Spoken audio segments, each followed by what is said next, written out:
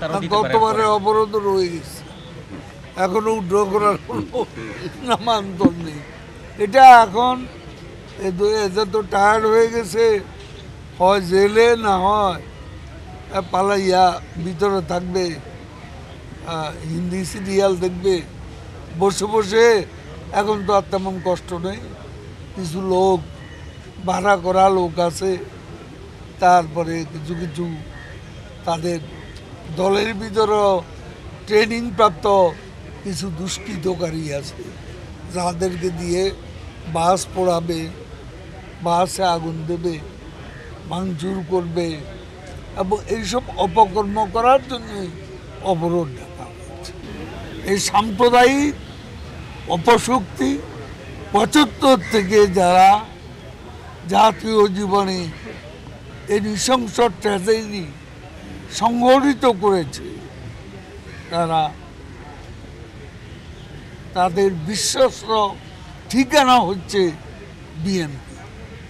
এবং আজকের সমসাময়িক পরিস্থিতিতে আঠাশ তারিখে আবারও প্রমাণ হয়েছে যে সাম্প্রদায়িক শক্তির সবচেয়ে নির্ভরযোগ্য ঠিকানা হচ্ছে বিএনপি।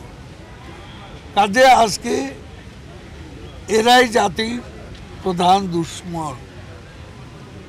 এই অপশক্তিকে শেখ হাসিনার ডাকে সাড়া দিয়ে সারা জাতির কাছে আমরা আহ্বান জানাব বাংলাদেশের গণতন্ত্র, মুক্তিযুদ্ধ স্বাধীনতাকে নিরাপদ করতে বিএনপি নেতৃত্বে এই সাম্প্রদায়িক অপশক্তিকে প্রতিহত করতে হবে পরাজিত করতে হবে।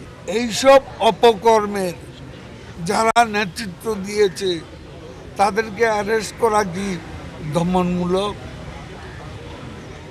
অপরাধ করলে তার বিচার হবে না? চৌত্রিশ জন চব্বিশ জন সাংবাদিক সেদিন তাদের উপর যে অত্যাচার হয়েছে যারা করেছে, তারা কি দায় এড়াতে পারবে? এটার বিচার হবে না? যে কি করে বলেন যে দমন দমন করার কি দমন তো বিষয় না। অপরাধ করলে অপরাধের বিচার হতেই হবে।